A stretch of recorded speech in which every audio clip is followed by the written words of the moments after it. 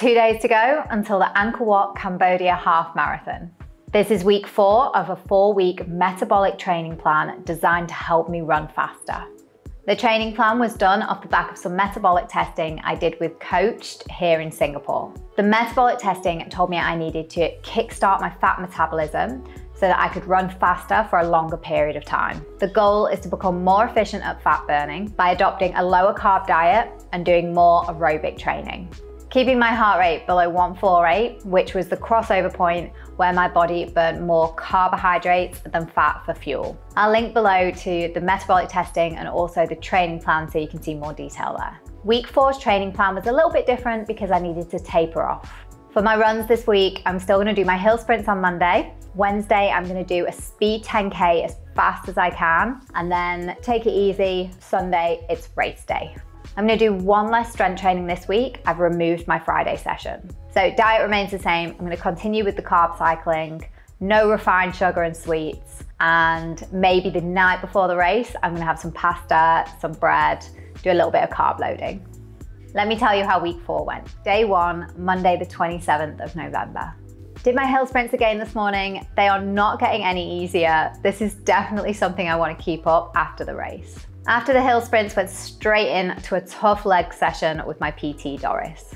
Just coming on here to say that it's Monday the 27th of November and today, yesterday was Sunday, Saturday and a few days last week, my sugar cravings have been unbelievable. I definitely increased some of my carbs at meal times on the more savory side.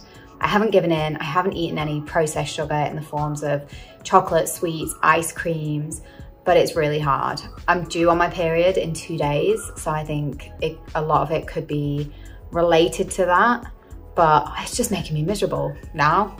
It's really hard. The cravings are real, and honestly, it's making me a little bit miserable. now, I wish I could be stronger, and I, I am strong. I've done three weeks, you know, it is. I suppose it's just what the body's used to, and I think maybe it's gonna take a much longer period of time for those cravings completely go away. Maybe someone on here can help me. Maybe someone can help me. Maybe how can I, how can I really stop these sugar cravings? I'm really having to try to control myself. When does this become easier? How can I make this easier? Short of giving it all up completely forever, which sounds, sounds just horrible. Day two, Tuesday the 28th of November. Up early this morning for the usual 5 a.m. strength training, upper body on the marina, smashed it. Had a carb heavy breakfast and then continued carb cycling for the rest of the day. Had stuffed mushrooms for lunch and an amazing Thai curry for dinner. So I just shot a video for alcohol-free alternatives and you can see at the back I did kind of five amazing alcohol-free rosés to drink this festive period. I feel so sick now. I feel so like I've been drinking. My stomach feels so gross. Um, I don't know what's going on. I don't know if it's because I haven't had sugar in so long that I've just had, I've probably only, it looks like I've drank a lot. I've not half that went, got thrown away. I've probably only drank maybe a glass, one glass in total, but it's made me feel really sick and unwell. I don't know if it's a sugar thing that I haven't eaten or drank sugar in a while, that even kind of probably having half a glass of alcohol-free rosé has made me feel pretty rough. Not sure what that's about. Day three, Wednesday the 29th of November. Sweaty face of someone who's just smashed out 10K as quickly as I could. It was okay. Not as fast as I want to be on race day though which is a little worrying. Let's see how we go.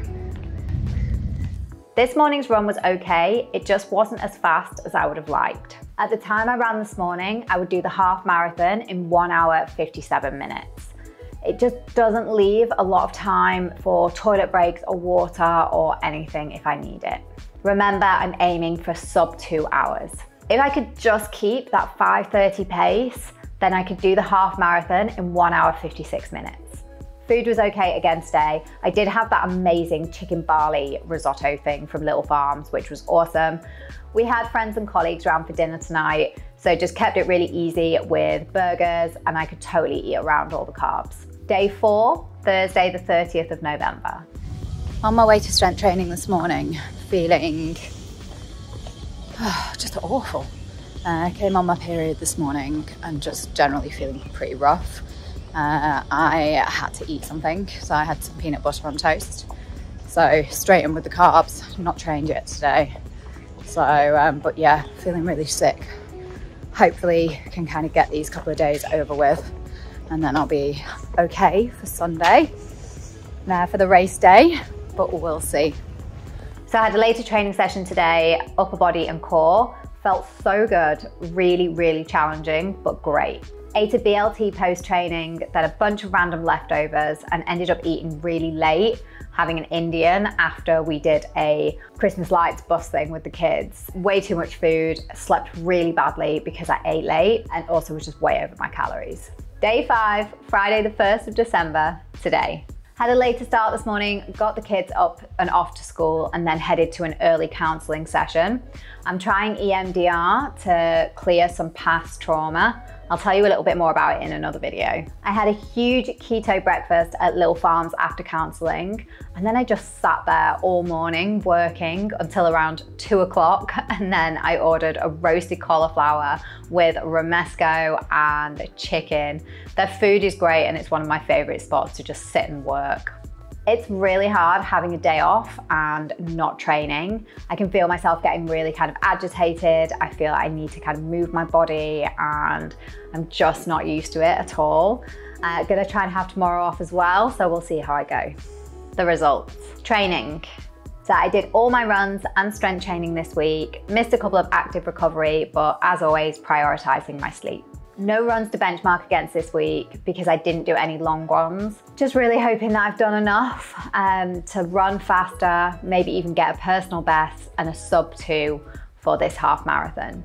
Nutrition. I was loads better with my carb cycling this week, which is great. I actually can't believe I didn't eat sugar this week. The cravings around my period were honestly unbearable at times.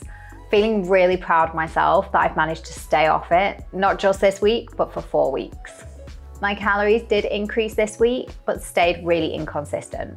So this must be affecting my performance. I'd love to hear from any runners out there. You know, do you guys eat the exact same amount of calories every day or does it naturally fluctuate? Are there benefits to eating the same amount every day? Or is it just normal to maybe have more at the weekends versus throughout the week?